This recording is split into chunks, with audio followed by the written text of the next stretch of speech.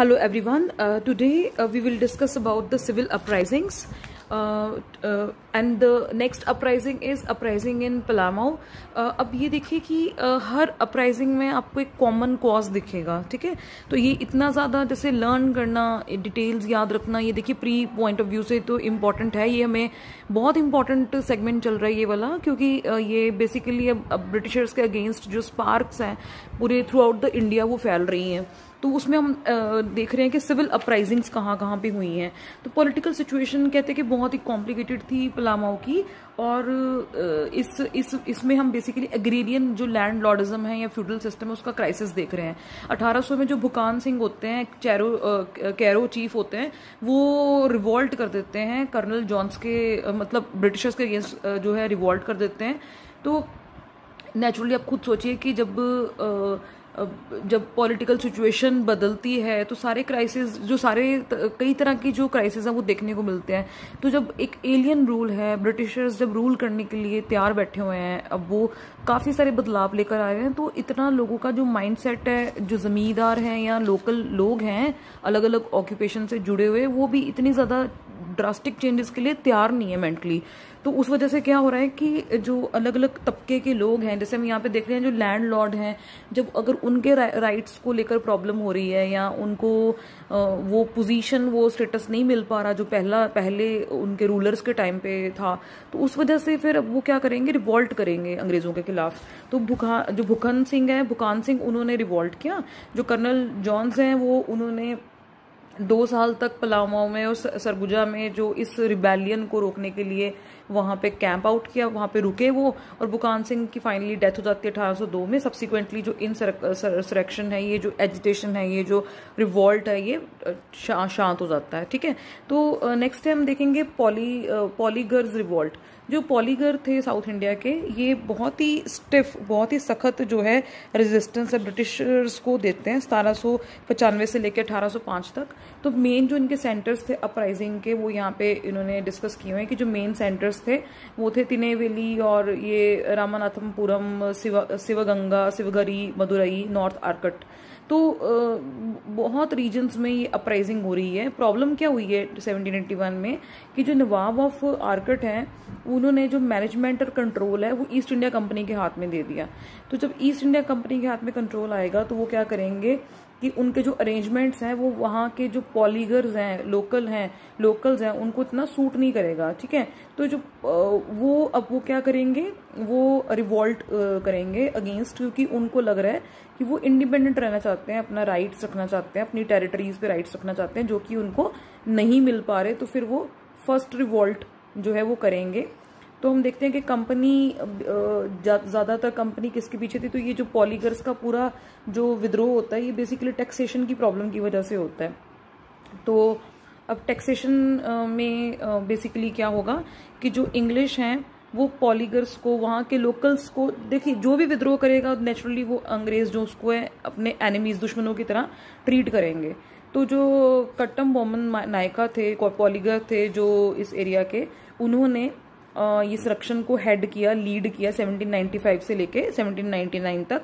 तो चार साल ये बहुत ही फियर्स बैटल चली और कंपनी ने इनको अन जो डिफीट किया हरा दिया। और बेसिकली बहुत हैवी प्राइसेस जो थे, उनको देने पड़े बाद में इस चीज़ के। तो with reinforcements the company forces forces were finally able to defeat उनको हराया गया। और जो कट्टा बोमम थे, वो वहाँ से भाग खड़े हुए और वो जंगलों में जाके छुप गए। और once again a betrayal this time by Ettappan the raja of Pudukkottai अब क्या होता था? प्रॉब्लम क्या होती थी कि जब भी अंग्रेज़ ये आ, मतलब किसी को भी दबा रहे हैं या मतलब किसी कोई भी इनके अगेंस्ट खड़ा हो रहा है तो प्रॉब्लम क्या हो रही है? अंग्रेज़ हमेशा इस तलाश में रहते थे कि कोई इनको ऐसा बंदा मिल जाए जो अगे इन्हीं के इन्हीं का बंदा हो हमें जानकारी भी दे दे और इन्हीं के अगेंस्ट भी हो जाए। तो वो भी इनको फिर से मिल जाता है। तो जैसे कि जो राजा ऑफ़ पटुकई हैं, वो क्या करेंगे? एक अग्रीमेंट साइन करेंगे अंग्रेज़ों के साथ। वो क्या करेंगे कि भाई हम जी कट्टा बोम की कैप्चर करा देंगे आपको और उसको हम किसी मतलब उसको हम बाद में मल्कि ख़त्म करवा देंगे। और जो एक क्लोज एसोसिएट था, Subramania Pillai was also hanged और उसको भी जो जो भी लोग विद्रोह करें अंग्रेज़ों के खिलाफ, उनको हम विद्रोह करेंगे और उनका साथ कौन देगा? ये king of raja of Pudukkottai जिसका नाम था इटप्पन। तो जो ये एटापन है, ये इन्होंने साथ दिया ब्रिटिशर्स का, ठीक है? ब्रिटिशर्स ने और इनको साथ दिया और एटापन की वजह से वो उनको कहते हैं कि जो उसको मार दिया गया था, सुब्रमण्यम पिल्लई को मार दिया गया था और जो भी विद्रोह कर रहा था उसको ब्रूटली ख़त्म करवा दिया था अंग्रेज़ों ने। तो हम बाद में देखें कि ये पाँच जो प्रॉपर्टीज़ थी, वो द पालायम ऑफ़ पंजाकुलन कुरिची और जो पाँच जगह की जो जायदाद थी स्टेट्स थी और अदर पॉलीगर्स थे who had joined the rebellion were confiscated तो उन, उनसे वो छीन ली गई थी, उनकी जायदाद जायदाद जो छीन ली गई थी जगहें छीन ली गई थी। और जो प्रोमिनेंट पॉलीगर्स थे, जो प्रोमिनेंट लोग थे, जो अंग्रेज़ों के खिलाफ विद्रोह कर रहे थे, उनको एग्जीक्यूट कर दिया गया था चूली पे चढ़ा दिया गया था और उनको मतलब जेल में डलवा दिया गया था। तो सेकेंड फ़ेज़ हम देखते हैं कि सेकेंड फ़ेज़ और भी ज़्यादा वायलेंट था पॉलीगर्स का तो हम वो देखेंगे कैसे। It was very violent it started in February 1801 जब पॉलीगर्स जो इम्प्रिजनमेंट में थे, जेल में थे, वो क्या करेंगे, वहाँ से भाग खड़े होने में सफल हो जाएँगे स्केप करेंगे वहाँ से। और क्या करेंगे, जंगलों में छुप सॉरी जो कई किलों में छुप के और कई किले में छुप के रिबेल करेंगे और टूटी कोरिन के जो एरिया वो है एरिया टूटी कोरिन का जो फोर्ट है, उसको भी कैप्चर कर लेंगे, उस एरिया को भी कैप्चर कर लेंगे। तो ब्रिटिश फोर्सेस क्या करेंगी? इस चीज़ को भी रोके, रोकेंगे नहीं, वो क्या, इस चीज़ को बहुत बुरी तरह से कंट्रोल करने की कोशिश करेंगी। तो री करेंगी। तो जो फ्यूजिटिव्स थे लेड बाय ओतो मतरुई और brother of Kattabomman who fled to Sivaganga in Ramnath join the rebellion सब जो विद्रोही थे उन्होंने अंग्रेज़ों के अगेंस्ट क्या किया?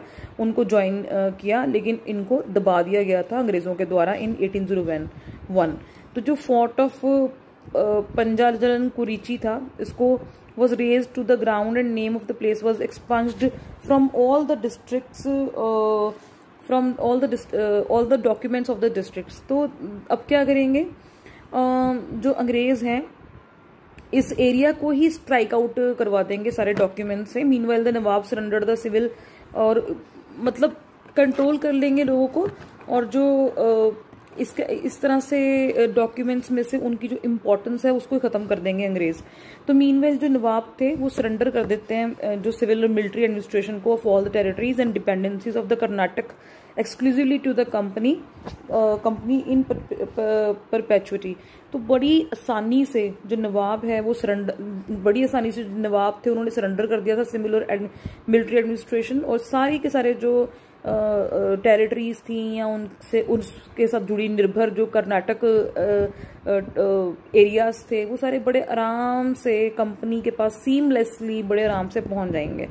मतलब वो शामिल कर लेंगे। तो between 1803 to 1805 the Poligars of North cut Arcot फिर से राइज करेंगे रिवॉल्ट करेंगे।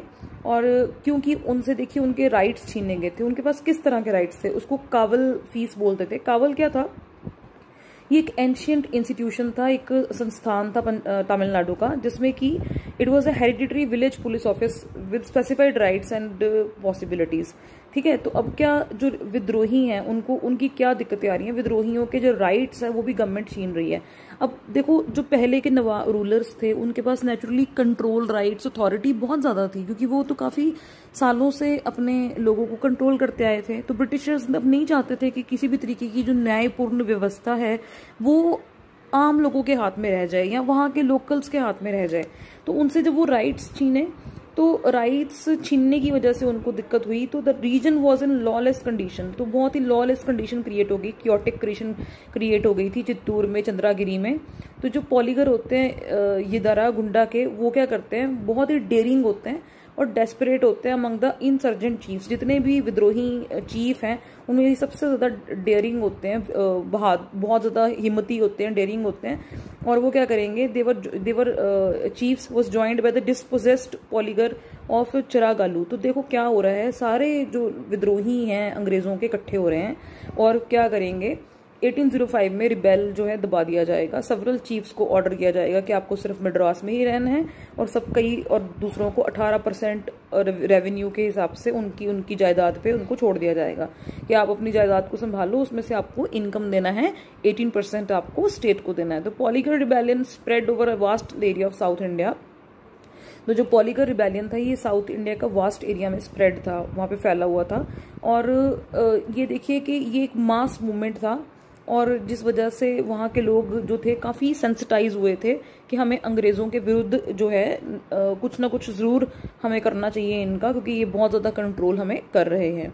तो हम आगे देखेंगे अपराइजिंग इन भिवानी हरियाणा के जाट्स ने भी 1809 में ही अंग्रेज़ों के खिलाफ क्या कर दिया था? अपने आप को मज़बूत कर दिया था और स्ट्रॉन्ग रेजिस्टेंस दिया था। और सारी आर्म जो कि वेपन्स यूज़ किए थे with powerful battering ram but was required to suppress was require to suppress the revolt तो आप देखेंगे कि कहते हैं कि भी अंग्रेज़ों ने इनको दबाने के लिए बहुत ही स्ट्रॉन्ग ली इनको दबाने के लिए जो चाहिए थे ना वेपन्स वो यूज़ किए थे जाट्स ऑफ़ हरियाणा के अगेंस्ट तो आप एक चीज़ का अंदाज़ा लगाओ, साउथ के पॉलीगर्स हरियाणा के जाट, और असम से, और छोटे छोटे एरिया मराठास, जो रीजन है, बहुत सारे रीजन में सिविल अपराइजिंग हो रही हैं अलग अलग तबके के लोग। बहुत सारे जो ऐसे शासक जो कि नाखुश हैं इनकी नीतियों से ऐसे किसान जो कि इनकी नीतियों नीतियों से परेशान हैं ऐसे ज़मींदार हो गए है ना और सोल्जर्स हो गए तो इस तरह के लोग जो कि डिससेटिस्फाइड हैं अब वो विद्रोह कर रहे थे और, और आक्रमण करना शुरू हो गए। तो कह लीजिए कि अब जो एक्शन अंग्रेज़ों ने लिया था एक कंपनी को एक सरकार बनाने वाला अब उसके अगेंस्ट जो रिएक्शन है वो जो आम जनता का आना शुरू हो गया था अलग अलग हिस्सों से with with with time and space तो दीवान वेलू थम्पीज रिवोल्ट क्या है हम वो देखते हैं। कहते हैं जो ईस्ट इंडिया कंपनी है बहुत ही हार्श कंडीशंस में उन्होंने जो ट्रेवन कौर की स्टेट थी वहाँ पे काफ़ी हार्श कंडीशंस उन्होंने जो कि लॉन्च कर दी थी। After both of them agreed to a subsidiary alliance arrangement under Wellesley in eighteen zero five cause deep resentment लोग खुश नहीं थे जब वेलेजली ने 1805 में ट्रेवन कोर के लोगों के साथ, जो वहाँ के रूलर के साथ, जो कि अग्रीमेंट साइन किया था। रूलर देखिए सब्सिडी पे नहीं कर पा रहा था एरियर्स बहुत भर गए थे। एरियर्स के होते बकाया, जो कि बहुत ज़्यादा पैसा जो है, वहाँ के रूलर को, अंग्रेज़ों को देना था। तो इनकी यही स्ट्रैटेजी थी ना, कि जब भी ये किसी से युद्ध करते थे या ट्रिटी साइन ट्रिटी मतलब कि तुम्हें भाई इतना पैसा देना है मुझे, वापस। तो ट्रिटी का मतलब ये नहीं था कि बराबरी की ट्रिटी तो होती ही नहीं थी ना। तो ये तो ऐसा होता था कि भाई आप देखो अब आप हम तो यहाँ पे आ गए हैं अब आपको हमें झेलना है आप आ, हम आपकी सरकार हैं आपको यहाँ पे रहना है तो आप आराम से चुपचाप करके रहो बदले में हमें पैसा देते रहो। और वो ये रूलर्स नहीं कर पाते थे क्योंकि उनके पास इतना था ही नहीं स्कोप क्योंकि उनके हाथ में पावर चली गई हुई थी। तो ब्रिटिश रेजिडेंट ऑफ़ जो ब्रिटिश रेजिडेंट थे डेवन कोर के वो was meddling in the internal affairs of the state meddling का मतलब होता है बहुत ज़्यादा इंटरफेयर करना। ब्रिटिश रेजिडेंट का बहुत जगह पे ज़िक्र हुआ है। ब्रिटिश रेजिडेंट क्या है? ब्रिटिश रेजिडेंट एक ऑफिसर है, जो कि जब भी अंग्रेज़ किसी भी भारतीय रूलर के साथ एक संधि साइन करेंगे तो उस, उन संधि में एक पॉइंट बनाएँगे कि हम अपना रिप्रेजेंटेटिव अपना ऑफिसर आपके एरिया में अपॉइंट करेंगे, रखेंगे और आपको वो वो वो एक रिप्रेजेंटेटिव क्या है? वो पूरी जानकारी रखेगा उस एरिया की कंट्रोल में रखेगा कि भाई ये कुछ कॉन्स्पिरसी ना कर दे हमारे अगेंस्ट अंग्रेज़ों के अगेंस्ट या फिर ये जो संधि इनके साथ साइन की गई है, ये उसके टर्म्स एंड कंडीशंस फुलफिल कर रहे हैं कि नहीं कर रहे हैं तो ये ब्रिटिश रेजिडेंट एक तरह से अंग्रेज़ों का एम्बेसडर होते थे। तो अब जो ब्रिटिश रेजिडेंट है, वो बहुत ज़्यादा देखो इंटरफेयर कर रहा है ट्रेवन ट्रेवन कोर में, वहाँ के लोकल मामलों में बहुत ज़्यादा इंटरफेयर करने लग गया। तो जो इस तरह का जो एटीट्यूड है वो वहाँ के जो ट्रेवन कोर के जो प्राइम मिनिस्टर होते हैं, वेलू थम्पी वज़ीर होते हैं, उनको पसंद नहीं आता और फिर वो कंपनी के अगेंस्ट रिवॉल्ट करते हैं और उनको ज्वाइन करते हैं नैयर ट्रूप्स।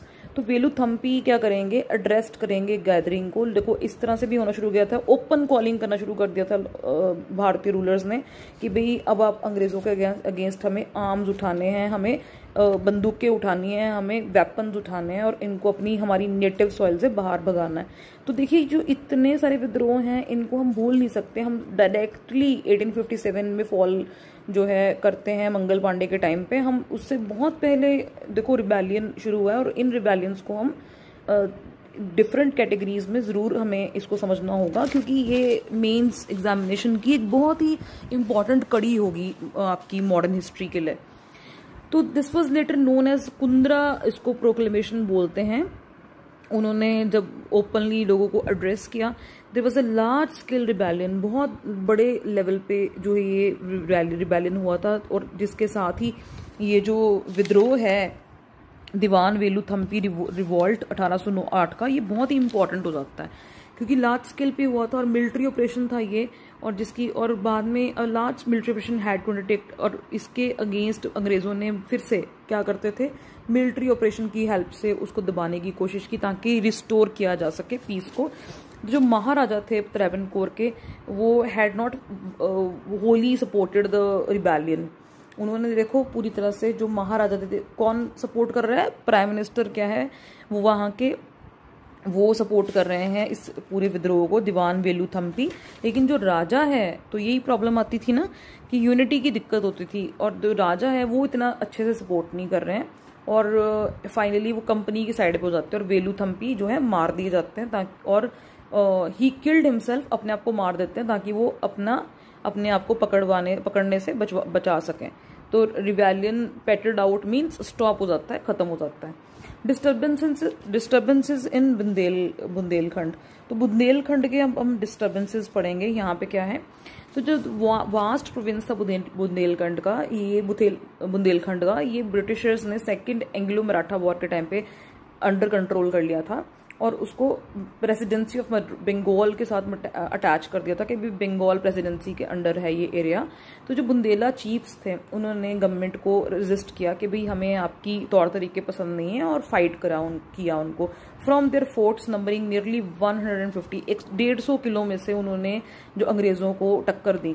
तो जो फ़र्स्ट मेजर रेजिस्टेंस था, वो आया था लक्ष्मण जो लक्ष्मण दवा की तरफ़ से, जो किलादार थे फोर्ट कमांडर थे ऑफ़ अजयगढ़ फोर्ट लक्ष्मण जो थे, वो he was permitted to retain the fort as a temporary arrangement for two years but he wanted to continue his hold और उनको बोला गया था कि भाई आप इसके बाद में जो फोर्ट है, वापस जो टेम्प्ररी अपने अरेंजमेंट के बाद आप दे सकते हैं, लेकिन वो उसको रखना चाहते थे। तो फिर उन्होंने फाइनली मतलब देखिए यहाँ पे क्या हो रहा है कि लक्ष्मण दास को परमिट किया गया था कि ये जो किला है, आप टेम्प्ररी अरेंजमेंट्स कर सकते हैं यहाँ पे और आपका टाइम ओवर हो गया। लेकिन वो इसको कंटिन्यू करना चाहते थे। ही सरेंडर फिर फाइनली उनको सरेंडर करना पड़ा और और वो कलकत्ता भेज दिए गए। जो नेक्स्ट रेजिस्टेंस है, वो आया था कलंजर, कालंजर के किलादार से, दरिया सिंह की तरफ़ से। और उन्होंने भी 1812 में ऐसे ही जो है रिवॉल्ट किया। But the most serious threat came from a famous military adventurer named Gopal Singh तो जो गोपाल सिंह थे, बुंदेलखंड के, सबसे ज़्यादा फ़ेमस वो थे और उन्होंने who had a dispute with his uncle who supported by the Britishers तो उनका अपने अंकल के साथ नहीं बनती थी क्योंकि ब्रिटिशर्स उनको सपोर्ट करते थे। तो for four years Gopal Singh ने बहुत eluded all vigilance and military tactics of British forces को काफ़ी टक्कर दी उन्होंने। और टू पुट अ स्टॉप और ब्रिटिशर्स को एक policy of binding down the hereditary chieftains of of uh, Bundelkhand by a series of contractual तो इकार नमाज़ तो इकार इकार के थ्रू देखो हमेशा डॉक्यूमेंटेशन करते थे ये लोग। और यार इकारनामा फिर बुंदेलखंड के चीफ टांस को चीफ जो चीफ थे मेजर्स थे लीडर्स थे उनके साथ फिर उनको करना पड़ता ताकि वो वेरियस जो डेढ़ सौ किलो में से उनको रेजिस्टेंस आ रहा है उसको वो दबा सकें। राइट तो नेक्स्ट है, आप देखिए डिप्लोमेसी के साथ करते थे ना ये एडमिनिस्ट्रेटिव प्रशासनिक जो डिप्लोमेसी होती है, उसके साथ ही चलते थे। वॉर यूज़ करते थे टैक्टिक्स यूज़ करते थे। डिसीडफुल मैनर भी यूज़ किया है इन्होंने, धोखेबाज वाला जो मैनर है, वो भी यूज़ किया हुआ है। तो बहुत तरह के जो इनके पॉइंट्स और ज़्यादातर हम देखेंगे कि एडमिनिस्ट्रेटिवली इन्होंने किया था। ये बाउंड कर देते थे डॉक्यूमेंटेशन में ट्रिटीज़ में अलायंसेज में लोगों को जिस वजह से नहीं जो थे लोग निकल पाते थे इनके इन टर्म्स एंड कंडीशंस में और हाईली डिससेटिस्फाइड तो रहते ही थे। तो ये डिससेटिस्फेक्शन ही इस तरह की अपराइजिंग को जन्म देती है। So so, Parlakimedi outbreak क्या था? तो पार्ल परला कमेडी जो था वो वेस्टर्न बॉर्डर है गंजम डिस्ट्रिक्ट जो कि ना अभी उड़ीसा में है ये वहाँ सिचुएटेड था। और वहाँ पे ज़मींदारों ने और राजाओं ने मिलकर वहाँ के जो लोग थे, उन्होंने मिलकर जो है अंग्रेज़ों को टक्कर दी थी। तो जब कंपनी ने गंजम और नारायण देव जो ये सारा एरिया जो था, जब जो गंजम का एरिया एक्वायर किया था, जो वहाँ के राजा थे नारायण देव, उन, उन्होंने रेजिस्ट किया था ब्रिटिशर्स को और अपनी army to dispatch an army under and the Britishers to force the huge resistance force और ब्रिटिशर्स ने अंडर कर्नल पीच के, उनको, उनके विद्रोह को दबाने की कोशिश की थी। पीच ने हरा दिया था नारायण दियो को इन 1768 और जो गजपति दियो थे, उनके बेटे थे, उनको एक जमींदार की तरह मतलब पोजीशन दे दी थी। और but Narayan Deo supported by son brothers Narayan Deo ने दोबारा रिवोल्ट किया, दोबारा से विद्रोह किया था। और as the resistance fail to calm down जो प्रेसिडेंसी थी मद्रास की, उन्होंने जॉर्ज रसल जो थे उसको, उनको कमिश्नर बनाकर इस एरिया में 1832 में भेजा और रसल ने अपनी पूरी पावर्स के साथ ये विद्रोह को दबा दिया था पैसिफाई कर दिया था इस रीजन को। ये पैसिफाई मतलब शांति व्यवस्था स्थापित कर दी थी एटीन थर्टीन थर्टी फोर में। तो मिलिट्री बहुत स्ट्रॉन्ग पॉइंट रहा है, शुरू से ही ब्रिटिशर्स का। क्योंकि जो इनकी, देखिए, जो इंडस्ट्रियल रेवोल्यूशन है, वो इंग्लैंड में स्टार्ट होता है। तो जब वहाँ पे इतनी तकनीकी विकास हो रहा है, कारखाने बन रहे हैं तो उसका जो सारा का सारा था ना तो बेस्ट जो वेपन्स बेस्ट स्किलफुल लीडर्स अगर आपको याद होगा, बहुत पहले अगर आपने चैप्टर्स में पढ़ा है, हम लोगों ने शुरू के चैप्टर्स में, कि जो अंग्रेज़ थे ना, इनकी जो ऑफिसर्स थे ना, वो हाईली स्किलफुल थे। हर अपराइजिंग में एक ना एक ऑफिसर का ज़िक्र आ रहा है। कि भाई इन्होंने अपने, इनको, इन्होंने दबा दिया विद्रोह को। तो इनके जो स्टाफ था इनका, वो बहुत स्किलफुल था। इनके अंदर ना ये कास्ट क्लास का सिस्टम नहीं था कि हम हेरिडिटरी अगर आप हो तो आपका बेटे को हम ये पोजीशन देंगे। जैसा कि इंडिया में हुआ करता था। अंग्रेज़ों की जो ऑफिसर्स थे, वो उनके काबिलियत के हिसाब से चूज़ किए जाते थे, जिस वजह से बहुत जगह पे जो भारतीयों ने अंग्रेज़ों से जो है मार खाई है, सिर्फ़ इसी वजह से क्योंकि जो इनके लोग थे वो हाईली स्किलफुल थे। तो और बड़े सोच समझ के रखे जाते रखे जाते थे। जैसे वेलेजली हो गए क्लाइव हो गए, बहुत तरह के जो अभी तक जो अफसरों का ज़िक्र बीच में अंग्रेज़ों का आया। नेक्स्ट हम देखेंगे कच्छ और का कच्छ कर वैलियन तो ये देखिए यहाँ पे क्या होगा, जो ट्रिटी साइन हुई थी, ब्रिटिशर्स और महाराजा बारामल जो टू थे, कच्छ के, उनको 1816 में और जिस वजह से by which the power was vested in the throne तो अब देखेंगे कि हावर हमेशा से ही ना जो वहाँ पे पावर स्ट्रगल चल रहा था, महाराजा के बीच में और कुछ जो है लीडर्स के बीच में, ठीक है पावर स्ट्रगल चल रहा है। अब जो देखिए, जब पावर स्ट्रगल होगा ना कहीं पे भी तो ब्रिटिशर्स क्या करेंगे करेंगे, इस चीज़ का इस्तेमाल करते थे कि भाई भारत, जो लीड ये है लोकल्स हैं, आपस में लड़ रहे हैं इंडियंस आपस में लड़ रहे हैं। चलो, हम बीच में थोड़ा सा एडवांटेज लेते हैं इस चीज़ का।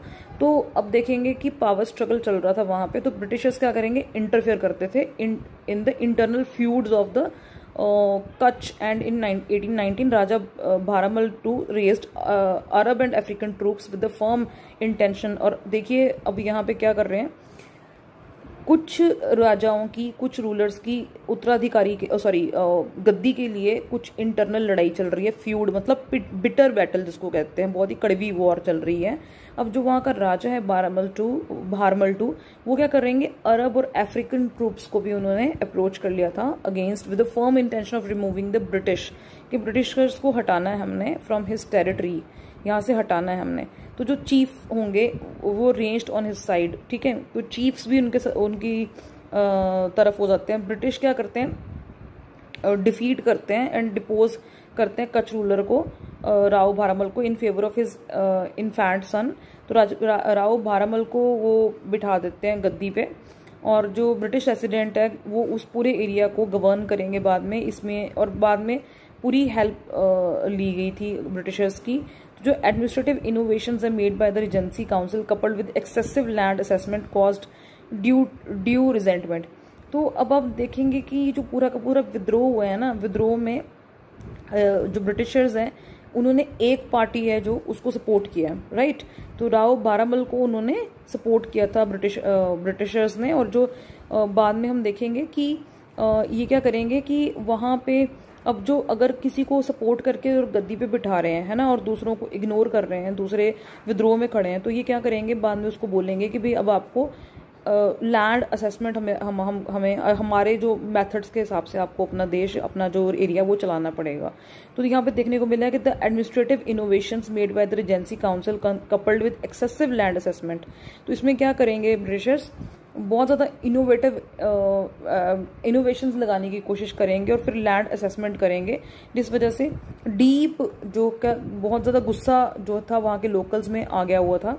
और सम ऑफ़ द जो चीफ चीफ हैं, कुछ जो चीफ थे वहाँ के, वो अपना जो, क्योंकि चीफ्स को तो इन्होंने सपोर्ट नहीं किया था ना तो वो विद्रोह करेंगे इस एलियन रूल के रूल के खिलाफ। जब जैसे ही न्यूज़ मिलेगी the news of the British reverses in the Burma war em emboldened जब उनको ये न्यूज़ मिली तो जब जब ब्रिटिश जब वहाँ के जो लोकल्स हैं चीफ्स हैं, जब उनको ये न्यूज़ मिलेगी the news of the British reverses in the Burma war emboldened the chiefs to rise in revolt देखिए बर्मा वॉर जब हुई थी तो वहाँ पे जो ब्रिटिशर्स हैं, उनको काफ़ी जो है, वहाँ से टक्कर देखने को मिल रही थी, टक्कर मिल रही थी।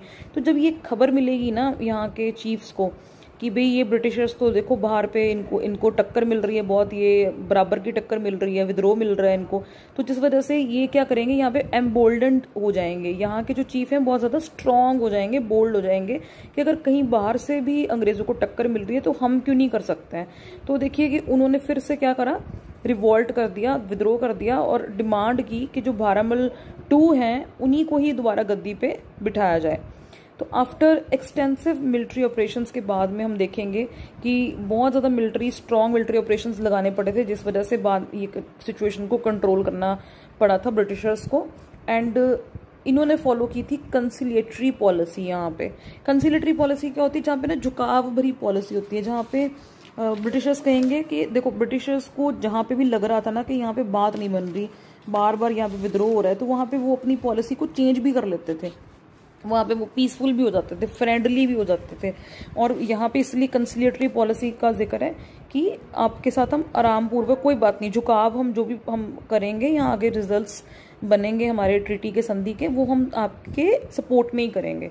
नेक्स्ट है नेक्स्ट है राइजिंग एट बरेली तो 1816 में यहाँ पे राइजिंग हुई थी बरेली की। तो बरेली में हम देखेंगे कि इमीडिएट जो कॉज बना ना, वो क्या बना यहाँ पे? पुलिस टैक्स का। जो पुलिस टैक्स था उससे क्या हुआ? जो सिटीजन्स थे अब जो ब्रिटिशर्स हैं उन्होंने इम्पोजिशन किया पुलिस टैक्स का और जो ब्रिटिशर्स थे वो इस वो ब्रिट, जो ब्रिटिशर्स ने जब ये इम्पोज किया तो वहाँ के जो लोकल्स थे वो इस इंडिग्नेशन को नहीं झेल पाए। इंडिग्नेशन का बेसिकली क्या मीनिंग होता है? It's a feeling of right it's a feeling of you know rightlessness कि जब लगे बंदे को कि भी मेरे राइट्स खत्म हो रहे हैं तो ये उस तरह की कंडीशन है। जब लोकल्स को लगा कि ये तो हम पे बहुत ज़्यादा ज़्यादती कर रहे हैं हमारे साथ तो इशू क्या बना था? Issue became religious when Mufti Mohammad Ewaz थे। A venerated old man gave a petition to the magistrate तो एक जो यहाँ पे रिलीजियस कलर कैसे मिला इस रिवॉल्ट को कि जब मुफ्ती मोहम्मद थे वहाँ के, उन्होंने मैजिस्ट्रेट को वहाँ के एक पटिशन दे दी कि ये देखिए ऐसा कर रहे हैं हमारे साथ। सिचुएशन और भी गंभीर हो गई।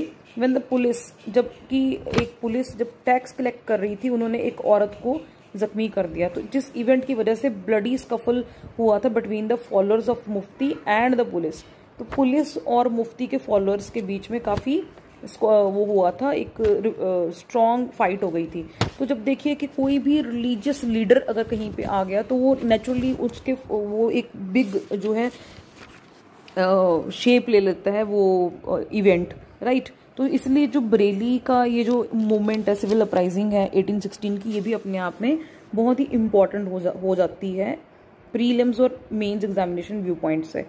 तो हम नेक्स्ट हम देखते हैं कि जो इसमें हुआ क्या then within two days of the events काफ़ी दो दिनों के भीतर ही सेवरल आर्म्ड मुस्लिम्स जो थे पीलीभीत शाहजहानपुर रामपुर में उन्होंने विद्रोह करना शुरू कर दिया for the defence of the faith of the Mufti Mufti Mufti की सपोर्ट uh, में. और 1816 में जो इंसर्जेंट्स थे उन्होंने जो जज थे वहाँ के लोकल बरेली में लेसेस्टर लेसेस्टर के बेटे को मार दिया था उन्होंने. तो जिस वजह से जब उनके बेटे, उसके बेटे को मारा ब्रिटिशर के तो फिर ये अपराइजिंग बहुत ही अगेन मिलिट्री फोर्सेस के थ्रू ही जो है दबाई गई थी इन विच मोर देन तीन सौ रिबेल्स को मार दिया गया था और उनको बंदी बना लिया गया था।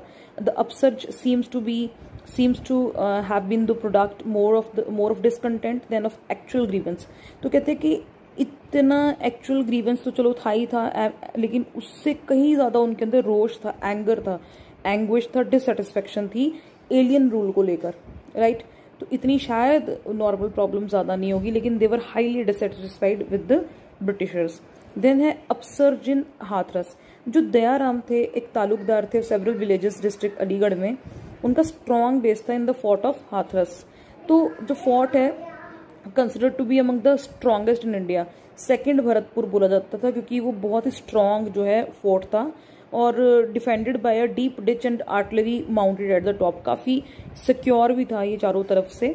द इंग्लिश जो थे उन्होंने कंक्लूड की थी सेटलमेंट हाथरस एस्टेट हाथरस के एरिया के साथ, दयाराम के साथ, जो कि एक एक किसान with with with Dayaram as a farmer but due to progressively increasing high revenues देखो फिर से क्या कर रहे हैं अंग्रेज़? हाई रेवेन्यूज इनकम टैक्स ज़्यादा लगा रहे हैं किसानों के ऊपर। तो जिस वजह से क्या होगा जो दयाराम है कॉन्स्टेंटली वो फेल हो रहे हैं पेमेंट करने में क्योंकि उनकी तरफ़ से बहुत ज़्यादा बकाया है अंग्रेज़ों को देने वाला। तो फिर वो काफ़ी दुश्मनी भरे जो एक्ट उसमें इन्वॉल्व हो जाएँगे और गवर्नमेंट फ्यूजिटिव्स गवर्नमेंट ऑफिसर्स के अगेंस्ट क्या है काम करेंगे। सो so, कंपनी को अगेन अटैक कंपनी ने अटैक किया हाथरस को अठारह में। तो दयाराम ने बहुत ब्रेवरी से बहुत ही बहादुरी से इसको लड़ा। पंद्रह दिन तक ये जो वॉर चलता है और फिर वहाँ से वो निकल भी गए अनहार्म्ड उनको कोई चोट भी नहीं पहुँची। बट अल्टीमेटली उनको अपनी जो उस, जिस तरह के हालात थे तो अंग्रेज़ बहुत स्ट्रांग हो चुके थे इंडिया में। तो उनको फिर अंग्रेज़ों के सामने सबमिट करना पड़ता है और सेटल डाउन करनी पड़ती है कि एक पेंशन अनदर नोटेड जो रिबेल थे भगवंत सिंह और राजा ऑफ़ मुरसान वो भी बहुत ज़्यादा डर गए थे। And to dismantle his fort submitted to the government उन्होंने खुद से ही डिसमेंटल किया अपने फोर्ट को।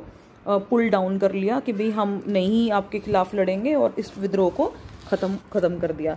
देन है पैका रिबेलियन पैका रिबेलियन जो है 1817 का वो पा, जो पार्क्स थे तो हम देखते हैं कि जो पैक्स पैक पैक्स थे उड़ीसा के ये ट्रेडिशनल लैंडेड मिलिटिया थे फुट सोल्जर्स थे वहाँ के ट्रेडिशनल जो कि पहले कुछ बहुत गुड राइट्स बहुत अच्छे उनको अधिकार मिलते थे फ्री लैंड टेन्योर्स जो थी उनके पास थी फॉर देर मिलिट्री सर्विस अपनी मिलिट्री सर्विस और पुलिस फंक्शनिंग की वजह से पुश्तैनी उनको रेंट फ्री लैंड टेन्योर्स मिलते थे, ठीक है? उनको कोई भी रेंट नहीं देना पड़ता था और उनको ज़मीन नहीं मिलती थी। देखिए, पुराने टाइम पे जो राजा महाराज क्या करते थे, अगर मिलिट्री में बहुत अच्छा कोई काम कर रहा है तो फिर उसको वो जो है, ज़मीनें दे देते थे। The English companies conquest of Odisha in 1803 and the dethronement of the Raja of Khurda had greatly reduce the power तो उस वजह से क्या हो गया कि जब इंग्लिश कंपनी उड़ीसा पे कंट्रोल करेगी 1803 में तो उस वजह से क्या हुआ था? डी थ्रॉन कर दिए गए थे राजा ऑफ़ खुर्द जो कि जिस वजह से जो पैक्स थे लोकल्स थे, हर इंडिया जो थी, वो फुल ऑफ़ कम्युनिटीज़ थी, जो हर तरह की कम्युनिटी हर धर्म से जुड़े लोग वहाँ पे जो थे। और ये भी एक पर्टिकुलर कम्युनिटी है और मिलिट्री और सैन्य जो बल से जुड़ी हुई कम्युनिटी है। तो ये क्या करेंगे, जब उनके राइट्स खत्म हो जाएँगे, क्योंकि इंग्लिश कंपनी ने उनका एरिया ही क्या कर लिया है ऑक्यूपाई कर लिया है। तो further the extortionist land revenue policy जो कि बड़ी टॉर्चरस है, जो कि नहीं सूट कर रही है वहाँ के लोगों को। उस वजह से यहाँ के जो ज़मींदार थे और किसानों के बीच में काफ़ी जो है प्रॉब्लम्स क्रिएट हो गई थी। Common masses were affected by the rise in prices of salt तो जो आम लोग हैं, वो बहुत ज़्यादा विद्रोह में आ गए थे क्योंकि जो सॉल्ट के प्राइसेस थे वो बहुत बढ़ा दिए गए थे और टैक्सेस भी बहुत बढ़ा दिए थे उसके ऊपर। और जिस वजह से लोगों को बहुत परेशानी आ रही थी, क्योंकि जो देखिए सॉल्ट है, वो प्रिजर्वेंट की तरह यूज़ किया जाता था प्रिजर्व बहुत ही जगह पे, बहुत ही ट्रेड में इसका बहुत इम्पोर्टेंस थी वैल्यू थी। तो जो बख्शी जगन्नाथ विद्याधर हैं, वो मिलिट्री चीफ थे राजा खुर्दा की फोर्सेस के। तो 1814 में जो जगह बंधु हैं, वो भी उनकी जो एंसेस्ट्रल स्टेट है, वो किला किला रोरांग की, वो भी कंपनी ने ले ली थी। तो जिस वजह से he was reduce to penury extreme poverty जिसको कहते हैं, बहुत ज़्यादा गरीबी में वो चले गए थे। तो स्पार्क फिर हुआ वहाँ पे नेचुरली जब लोगों को पे आप सॉल्ट टैक्स लगा देंगे, लोगों के राइट्स जो है चेंज कर देंगे, उनकी ज़िंदगी जब बदल देगी तो फिर वो आगे से रिवॉल्ट तो उन्होंने करना ही है। तो बहुत एक्टिवली सपोर्ट किया था मुकुंद, जो है मुकुंद देव जो है एक्टिव सपोर्ट हुआ था। वहाँ पे हम देखते हैं कि मुकुंद देव जो लास्ट राजा थे कुर्दा के और बाकी के ज़मींदार, राजाओं ने और ज़मींदारों ने, देखो, अगर आप कलेबरेशन देखेंगे तो ज़मींदार और किंग्स आपस में मिलके जो है गवर्नमेंट को कंट्रोल कर रहे हैं। गवर्नमेंट को विद्रोह कर रहे विद्रोह करने की कोशिश कर रहे हैं। तो फाइनली जो थे वहाँ के द लास्ट राजा इन, इनकी मिक्स्ड आर्मीज थी। इनकी आप अगर आप देखेंगे तो इनकी सन्ड्री जो आर्मीज हमें देखने को मिलती है मिक्स्ड जो इनकी फोर्सेस थी वो लेकर इन्होंने ईस्ट इंडिया कंपनी को पूरा जो है विद्रोह किया। तो इस विद्रोह को पैका विद्रोह के नाम से भी जा, जान, जाना जाता है। तो इनिशियली तो सक्सेस मिली थी विद्रोहियों को। और जिस वजह से पूरा का पूरा जो ओडिशा है, वो the rebel set the whole province covering Odisha in arms against the British British government के अगेंस्ट कुछ देर के लिए उड़ीसा को पूरा तरह से उन्होंने ऑक्यूपाई कर लिया था।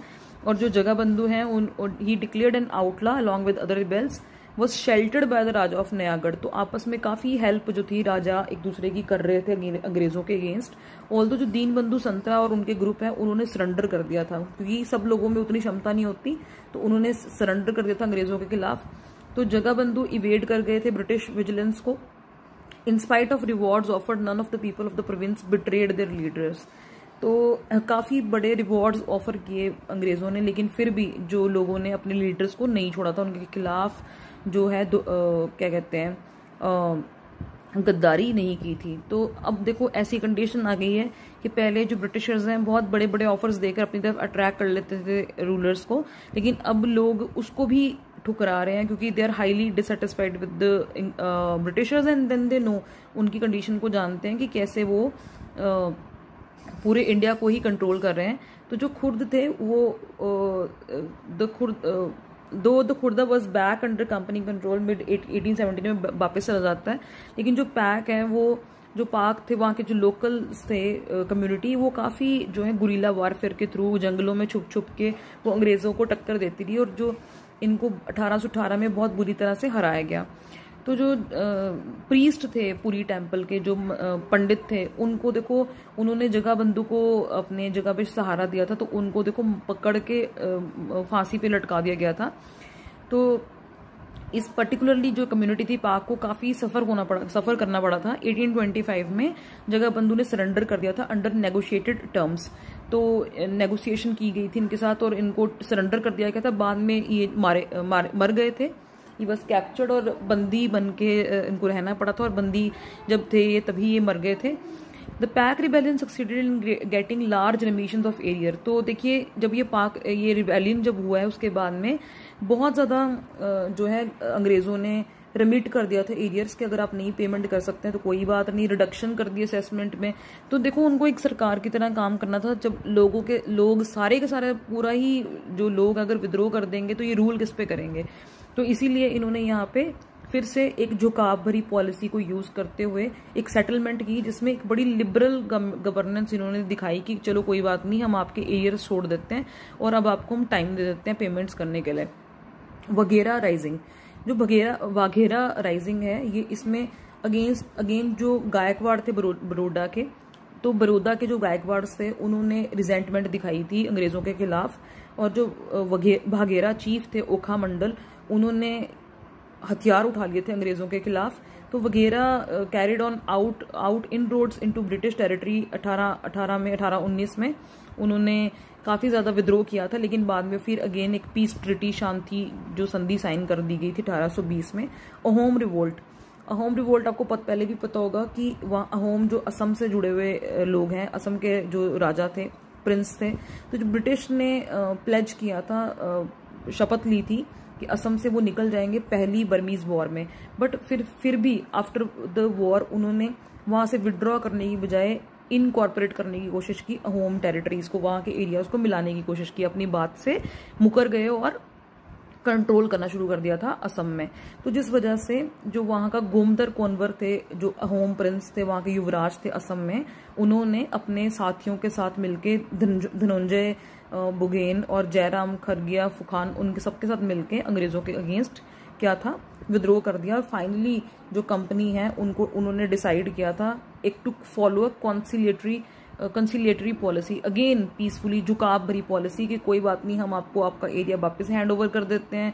महाराजा पुरंदर सिंह नरेंद्र को हम वापस एरिया दे देते हैं और ये जो पूरा का पूरा किंगडम है ये हम असमीज किंग्स को दे देंगे। तो क्या मीनिंग है इसका? मीनिंग ये है कि भाई, ये बहुत डिप्लोमेसी के साथ चलते थे अंग्रेज़, कि जहाँ पे नहीं बात बनेगी, जो लोग ज़्यादा ही खतरनाक हैं बार बार विद्रोह करेंगे, या फिर हमारे लिए ज़्यादा प्रॉब्लमेटिक हो सकता है तो वहाँ पे वो ऐसी ट्रिटी करते थे, कुछ जो है वहाँ पे स्पेस और कुछ जो है लेवरेज है वो दे देते थे लोकल रूलर्स रूलर्स को भी। सूरत सॉल्ट एजिटेशन तो जो स्ट्रॉन्ग एंटी ब्रिटिश सेंटीमेंट है, वो सूरत के लोगों में भी जागा था यूरोपियंस के अगेंस्ट अठारह में।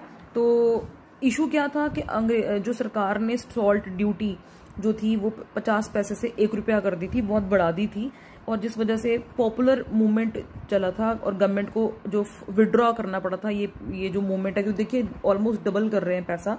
टैक्स लगा रहे हैं। अगेन इन 1848 तो गवर्नमेंट को फोर्स किया गया था कि भाई आप ये जो विड्रॉ कीजिए अपना major to introduce Bengal standard wage और मेजर्स हैं। तो जो गवर्नमेंट देखो, जो गवर्नमेंट के तौर तरीके थे ना, व्यापार करने के, अब उसके भी अगेंस्ट लोग हो गए थे और लोग डिटर्मिन हो गए थे कि भाई हम तो बॉयकॉट करेंगे और रेजिस्टेंस करेंगे। तो इस तरह के जो विद्रोह हैं, हमें देखने को मिलते हैं। 1857 से पहले। कोलापुर एंड सवंतवादी रिवॉल्ट जो गडगरीज थे हेरिडिटरी मिलिट्री क्लास थी मराठा फोर्ट्स की, मराठा मराठा वालों की तो मराठ, वहाँ पे देखेंगे हम जो कि वो विच वॉज़ गैरिजन इकट्ठे थे वो एक फोर्ट्स में गडगरीज और अपने आप को काफ़ी स्ट्रांग बनाकर वो किला बंदी करके बैठे हुए थे। तो these garrison were disbanded during administrative reorganisation of Kolhapur state जब कोलापुर रीजन का रीऑर्गेनाइजेशन किया तो इनको डिसबैंड कर दिया, वहाँ से खदेड़ दिया गया था। तो जिस वजह से वो काफ़ी अनएम्प्लॉयड हो गए थे, जो मिलिट्री क्लास थी गडकरीज वाली, वो अनएम्प्लॉयड हो गए थे। उनके पास कोई काम नहीं था। तो गडकरीज फिर क्या कर, किया उन्होंने? उन्होंने एक विद्रोह किया। और ऑक्यूपाई कर लिया समानगढ़ और बुधार बुधरगढ़ का एरिया जो किले थे वो अपने अंडर उन्होंने कंट्रोल कर लिया similarly the simmering discontent cause the revolt in Sawantwadi areas तो हमें बहुत बड़ी जो जो है डिसकंटेंटमेंट डिससेटिस्फेक्शन है जो स्लोली देखने को मिलती है इन सवंतवादी एरियाज़ में भी। तो यहाँ के लोग ऑलरेडी 1830, 1836, 1838 में रिवॉल्ट कर चुके थे। तो लास्टली जो ब्रिटिश थे उनको, उनका जो रूलर है, वापस बिठाना पड़ा था और ब्रिटिश अथॉरिटीज़ ने कई नए कानून लाए थे अपने, इस एरिया को अपने अंडर कंट्रोल करने के लिए। तो इस तरह से देखिए कि अब ब्रिटिशर्स के ऊपर भी प्रेशर है सिविल अपराइजिंग का बढ़ रहा था। वहाबी मूवमेंट तो वहाबी मूवमेंट क्या है? वहाबी मूवमेंट एक इस्लामिक रिवाबलिस्ट मूवमेंट है, जो कि सैयद अहमद जो थे रायबरेली के, उन्होंने शुरू किया था और किन की टीचिंग्स की वजह से अब्दुल वहाब जो सऊदी अरेबिया के थे और शाह वलीउल्लाह जो दिल्ली के थे, उन दोनों की टीचिंग्स की वजह से अंग्रेज़ों के खिलाफ उन्होंने मूवमेंट शुरू किया था। जो सईद अहमद थे, वो वेस्टर्न इन्फ्लुएंस को कंडेम करते थे, मना करते थे और कहते थे कि ये गलत है। तो इस हम, इस, इसमें हम देखेंगे कि रिलीजियस सिविल मूवमेंट की तरह हम इसको समझ सकते हैं कि इंडिया में इसके जो इम्पोर्टेंट सेंटर्स थे, वो वो हम देखते हैं कि स्थाना नॉर्थ ईस्ट इंडिया में नॉर्थ वेस्टर्न ट्राइबल बेल्ट में हम देखते हैं कि स्थाना एक जगह, ये हरियाणा के पास है। और इंडिया में हम देखते हैं इसके सेंटर्स पटना में थे, हैदराबाद, मद्रास में इसका मतलब काफ़ी रीजन बड़े रीजन में ये इस्लामिक मूवमेंट जो अंग्रेज़ों के खिलाफ जो है शुरू हो चुका था। तो बेसिकली प्रॉब्लम क्या थी? अगेन प्रॉब्लम थी कि हमें दारुल हर्ब चाहिए, जो लैंड ऑफ़ काफिर्स हैं। जो लोग नहीं आ, मतलब गलत हैं काफिर हैं उनको कन्वर्ट करना है दारुल इस्लाम में जो लैंड ऑफ़ इस्लाम में तो जिहाद छेड़ दिया था। पहले सिखों के अगेंस्ट पंजाब में तो जब सिख रूलर्स हराए गए थे ईस्ट इंडिया कंपनी के द्वारा इन 1849 तो जो वहाबीज थे उनके नेक्स्ट टारगेट कौन थे? अंग्रेज़ थे ब्रिटिशर्स थे। तो वहाबीज ने बहुत ग्रैंड रोल प्ले किया था एंटी ब्रिटिश सेंटीमेंट्स को प्रमोट करने में। एक सीरीज़ ऑफ़ मिलिट्री ऑपरेशंस चलाए थे इन 1860s में तो वहाँ भी बेस था स्थाना और वेरियस कोर्ट केसेस में जो केसेस हुए थे सडिशन के on the Wahabis weakened the Wahabi resistance तो इनके अगेंस्ट ब्रिटिशर्स ने बहुत ज़्यादा केसेस डाल दिए थे तो जिस वजह से वहाबी रेजिस्टेंस थोड़ा सा वीक पड़ गया था. Although sporadic encounters with authorities continued लेकिन बहुत इन्होंने टक्कर दी थी अंग्रेज़ों को 1880 में भी 1890 में भी, बाद में भी. कुका मूवमेंट कुका मूवमेंट देखिए जो थे ये पंजाब का बड़ा पॉपुलर मूवमेंट है। कुका मूवमेंट भग, भगत जवाहर मल जो थे जिनको सिया साहेब बोलते हैं वेस्टर्न पंजाब के उनके द्वारा स्थापित किया गया था 1840 में। ये एक मेजर लीडर एक मूवमेंट था। After him was Baba Ram Ram Baba Ram Singh a major leader of the movement जो थे वो बाबा राम सिंह थे। He founded Namdhari Sikh sect तो जो बाबा राम सिंह थे, इन्होंने नामधारी जो सिख सेक्शन है, उसको भी फाउंड किया था। तो आफ्टर द जब ब्रिटिशर्स ने पंजाब को ऑक्यूपाई कर लिया था तो ये जो मूवमेंट है, ये एक रिलीजियस कैंपेन से चेंज होकर पॉलिटिकल कैंपेन में कन्वर्ट हो गया था, कोका मूवमेंट इसका बेसिकली मतलब क्या था कि हमें जो कास्ट व्यवस्था उसको हटाना है। कई तरह के जो डिस्क्रिमिनेशन हैं सिखों के अंदर किए जाते हैं, या मीट कंज्यूम किया जाता है, या शराब पी जाती है ड्रग्स उन सब, और इन सबको हमने रोकना है। विडो री मैरिज के लिए अलाउ करना है, विधवा, पूर्ण विवाह विवाह के लिए एनकरेज करना है औरतों को ताकि वो स्टेप आउट कर सकें सक्ल्यूजन से। Seclusion basically means when you are to private जब आपको बाहर नहीं निकलने दिया जाता तो इस पॉलिटिकल साइड में हम देखते हैं कि जो कुकाज हैं, वो हमेशा से चाहते थे कि अंग्रेज़ जो है खदेड़े जाएँ और पंजाब में सिखों का रूल दोबारा से लाया जाए। तो उन्होंने they advocated wearing hand woven clothes को उन्होंने प्रमोट किया। और वो बोलते थे बॉयकॉट करने के लिए अंग्रेज़ी कानून और एजुकेशनल प्रोडक्ट्स तो जो कंसेप्ट था स्वदेशी का और नॉन कॉपरेशन का, वो कुका मूवमेंट में शुरू हो चुका था। तो वो बेसिकली हम नेशनल मूवमेंट में अर्ली ट्वेंटी सेंचुरी के बारे में बोलते हैं कि भाई वहाँ पे स्वदेशी और नॉन कॉपरेशन महात्मा गांधी के द्वारा भी हम देखते हैं कि उनके टाइम पे भी शुरू हुआ था। लेकिन देखिए रियली जो कुका मूवमेंट है 1857 से कहीं पहले वो पंजाब में उन्होंने स्वदेशी और नॉन कॉपरेशन को प्रमोट कर दिया था पहले ही। तो as the movement gain in popularity इस मूवमेंट को बहुत पॉपुलैरिटी मिली थी और ब्रिटिशर्स को कई स्टेप्स लेने पड़े थे इसको क्रश करने के लिए 1863 से लेके 1872 में। और फाइनली जो इसके टॉप लीडर थे राम सिंह को उनको रंगून भेज दिया था अंग्रेज़ों ने। तो with this the major civil uprisings are finalised इसके बाद हम नेक्स्ट जो लेक्चर में हम पढ़ेंगे peasant movements with religious overtones thank you so much